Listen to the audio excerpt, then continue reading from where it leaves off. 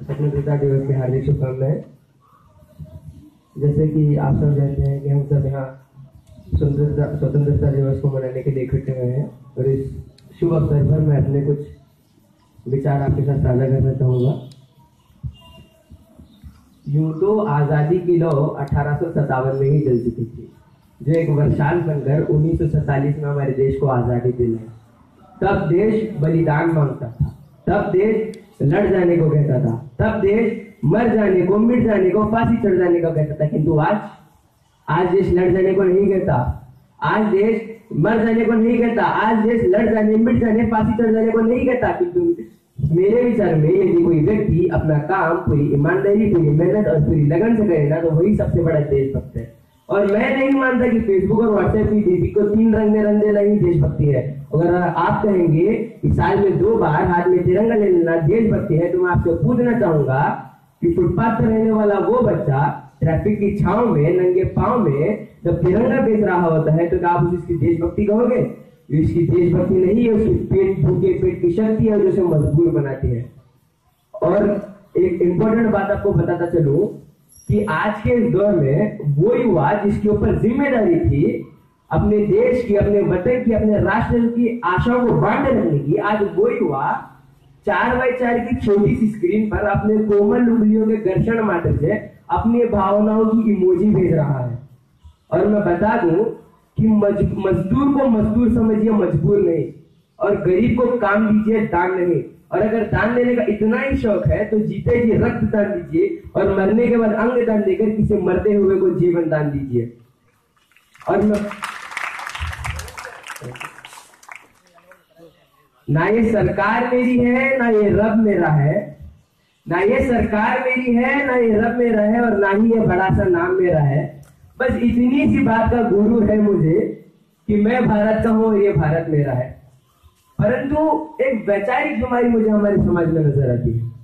कहते हैं कि हम दुनिया के सबसे बड़े लोकतंत्र हैं, जहाँ हिंदू पैदा होते हैं, मुस्लिम, सिख, ईसाई भी पैदा होते हैं, लेकिन बदकिस्मती की बात है इंसान पैदा नहीं होते। और मेरे विचार में ना हिंदू की ज़रूरत है, ना मुसलमान की ज़रूरत है, न हिंदू की ज़रूरत है, ना मुसलमान की ज़रूरत है। राष्ट्र निर्माण के लिए सिर्फ़ अच्छे इंसान की ज़रूरत है, केवल अच्छे इंसान की ज़रूरत है।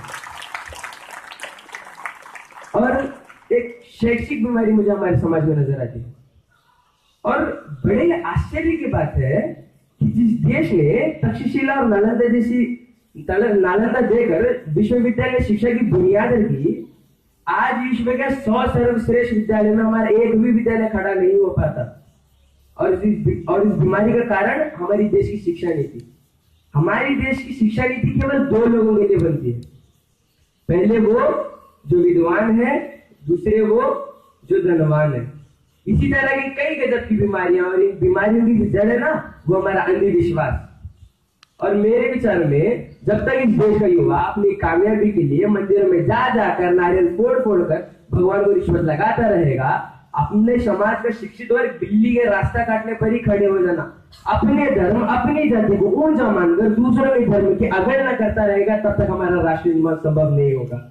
हमारी संस्कृति, हमारी सभ्यता को दुनिया ने शीशना पाया है तो फिर क्यों हमने आस्था के नाम पर अंधविश्वास फैलाया? है और हमारा राष्ट्र निर्माण तब तक संभव नहीं होगा जब तक इस देश में महिलाओं की पूजा नहीं, उनकी इज़्ज़त की जाएगी। तब तक संभव नहीं होगा जब हम जाति का संरक्षण नहीं, बल्कि सामाजिक शक्ति का बात करेंगे। तब तक संभव नहीं होगा जब तक स्वच्छता अभियान में केवल सरकार नहीं, बल्कि सड़क पर चलने वाला हर एक नागरिक हाथ बटाएगा।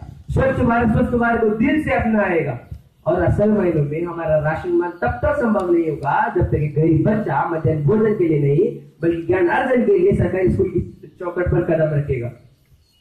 और हमारा राशन मान तब तक संभव नहीं होगा, जब तक एक नागरिक नैतिक रूप से सटीक चारित्रिक रूप से भ्रष्ट, मानसिक रूप से दिवालिया धार्मिक रूप से अंधा, राजनीतिक रूप से गंदा स्वैच्छिक मान्य मूल्यों के आंकड़ों में चिन्ह चिन्ह प्रबंध अखंड भारत को खंड खंड करता रहेगा, तब तक हमारा राष्ट्र निर्माण संभव नहीं होगा।